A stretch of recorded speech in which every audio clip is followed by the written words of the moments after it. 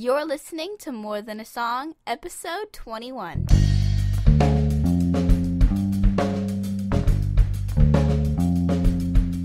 Hello, and welcome to this episode of More Than a Song. My name is Michelle Nezat, and that was my daughter Emily. And this is the podcast dedicated to helping you discover the truth of Scripture hidden in today's popular Christian music. My goal is to teach you to connect portions of God's Word with the songs you're singing along with on the radio to help you meditate on truths that will transform your way of thinking and ultimately your life.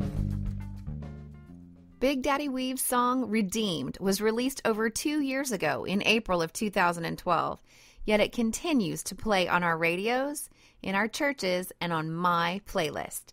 But why did I pick it for this week's title? First, always because it can point us back to Scripture, but also because I realize that for myself, the word redeemed is just one of those words that I know what it means, but I find it hard to describe it to others. And then I really want to understand it better so that I can describe it better. And as with anything, my preparation for today's podcast has brought me to a deeper understanding of what Christ's redemption really is, and thus deepening my love for this song because of the truth that it reminds me of every time I hear it. So let's get started, and I can think of no better way to start than at the beginning of the song.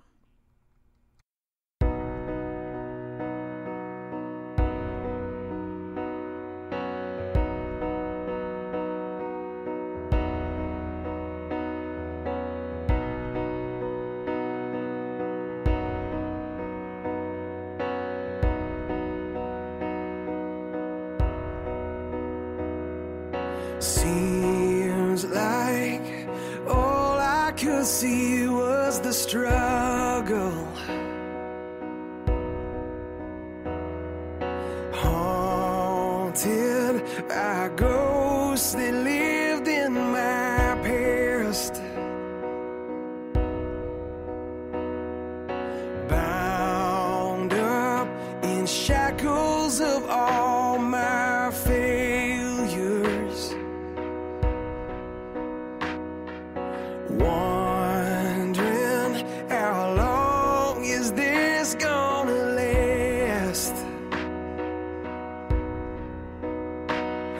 Then you look at this prisoner and say to me, son, stop fighting a fight it's already been won. there just has to be a word in there that resonates with you. Is it struggle? Is it haunted by your past? Are you bound up in shackles? I've had the opportunity over the past few weeks to sit down and have some real conversations with several friends. And some are believers and some are not, but we are, we live in our busy, complete the next task, keep up with the Joneses, I'm so blessed culture. But even in the midst of that, there are there are some real struggles and there are ghosts and there are chains that we all have. And maybe we don't take the time to really think about them or take the risk to talk about them. And although your circumstances may not change with the knowledge that you're going to gain today, I really hope that your perspective will. Because God is trying to tell us that the battle has already been won and we have the name redeemed. and I am redeemed. You set me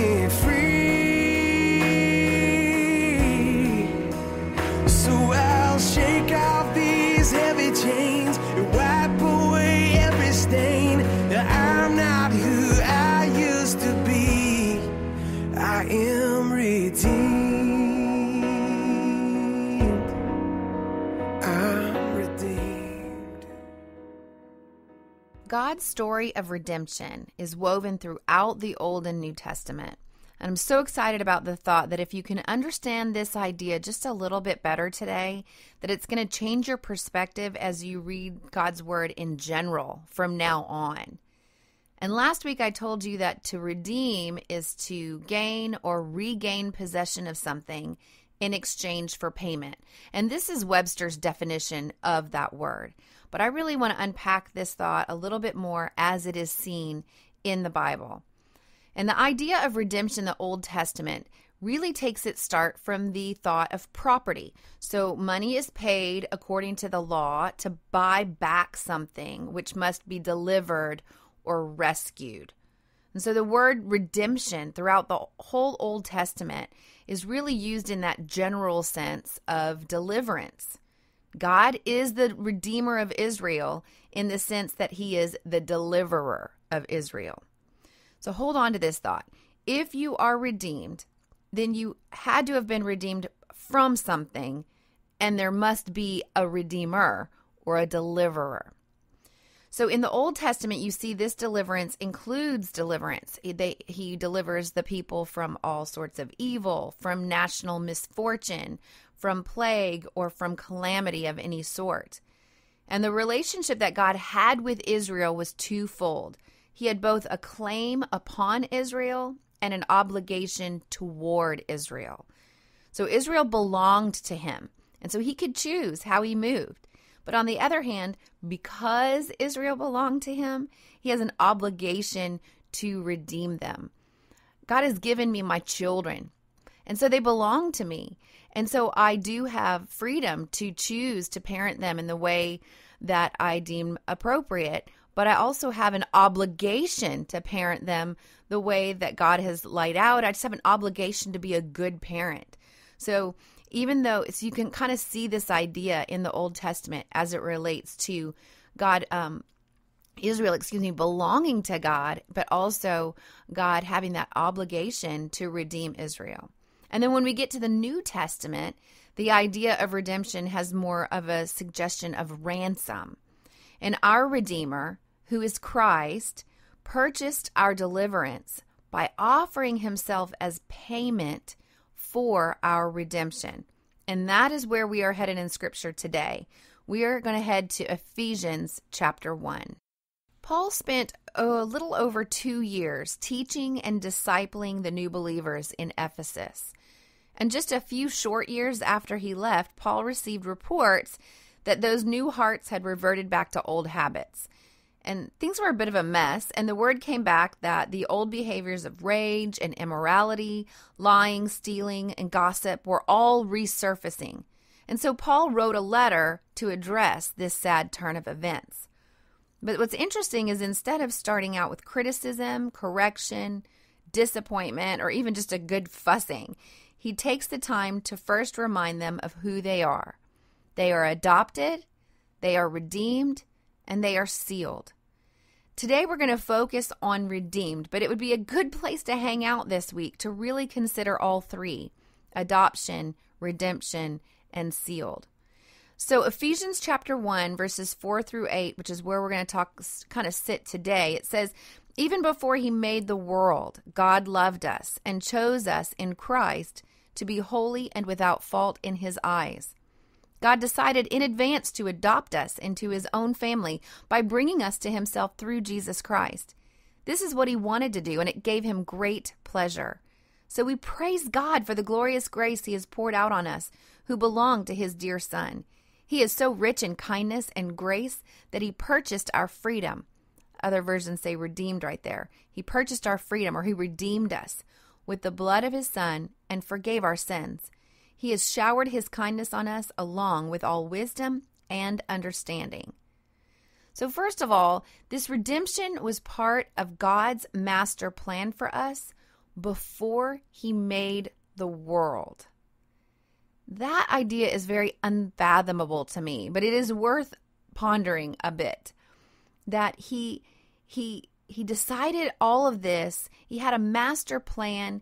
He he he could see us in the future before the world even began. So next he had to redeem us because we were in bondage of a certain thing and we had to be purchased by God to become his own so that he could bring us into that inheritance that he has for us. He had to deliver us. And just like the picture that he painted with Israel, the whole time he was displaying who he was to Israel, he had us in mind before he made the world. That's crazy to me. So, as you're reading some of these Old Testament um, stories, and as you can kind of begin to see this redemption plan, this rescue plan from the beginning of time played out um, as an example, almost like a story, an allegory through Israel. He had us in mind the whole time. And I'm going to show this one nation who I am and how loving I am and what a great father I am. I'm going to show this one nation this so that I can reveal myself to the whole world so that one day Michelle Nezat's going to be sitting in her loft recording her podcast and get it that I had her in mind before I even created the world. It's just really crazy. So I hope you have time to stop and think about that. So, redemption then is the deliverance by the payment of a price. And everybody in the world is captive. Everyone that comes into this world is a captive. The Bible says that we are slaves. No man is free. Every person in the world is a slave to their sinful state. Who are they slaves to? Who is the captor? Who is the captor of every man? Well, listen to this. John 8:34 says, "Men are slaves to sin." Romans 6:17 says, "Men are servants to sin."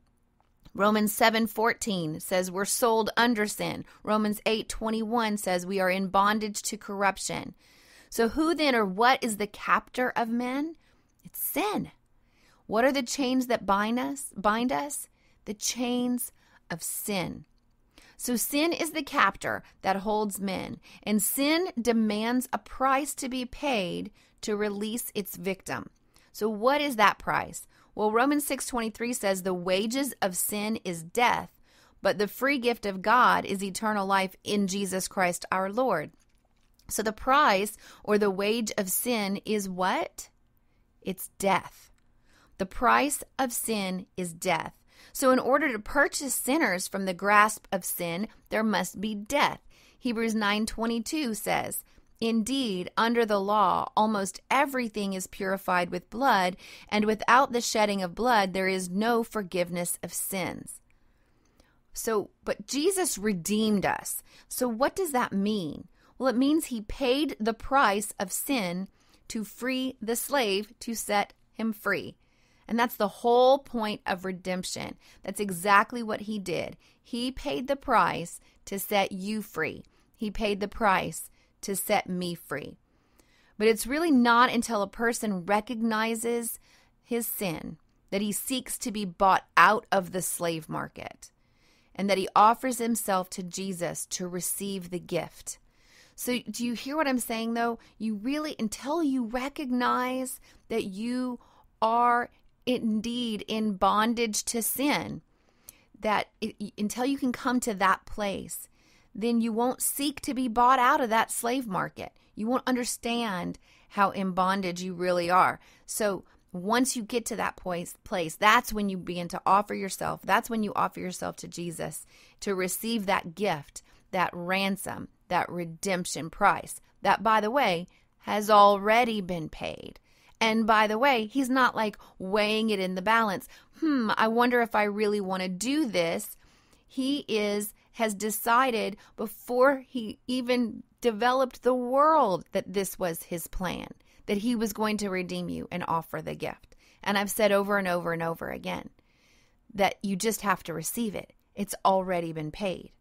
The word for redeemed in the Greek is apolutrosis, and it can be translated redeemed or repurchase. And here's the key the word emphasizes the distance or the safety margin that results between the rescued person and what previously enslaved them. That's crazy. The distance or safety margin that results between the rescued person and what previously enslaved them. Christ has purchased distance between us and the sin that so easily entangles us. And for the believer, the prefix apo looks back to God's effective work of grace, purchasing us from the debt of sin and bringing us to our new status of being in Christ.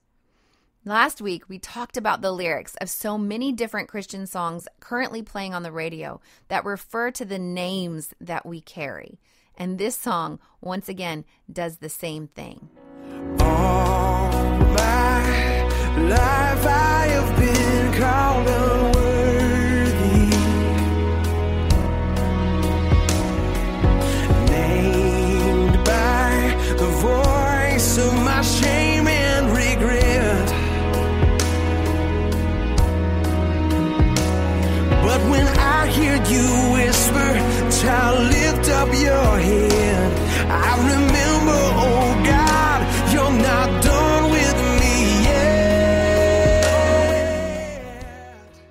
remember, oh God, you're not done with me yet. Praise God for that. And it just reminds me of that promise found in Philippians when it says, being confident of this, that he who began a good work in you will carry it on to completion until the day of Jesus Christ. So, one final thought why do I want you to study in context? Because if you don't, if you don't read all of Ephesians, if you don't, re- if you just pull out that one memory verse that I'm highlighting in our mem- memory verse resources this week, or if you just think about that one thought, even though we've really focused on one thought of redemption, but if you don't see that God planned your deliverance from the beginning of time, because you don't read it in context. If you don't read it in context, you don't see that our redemption is right there with our adoption and our inheritance. And if you don't read it in context, you just don't fully see. You just don't fully understand. So, what's next for you? Well, I encourage you to read Ephesians.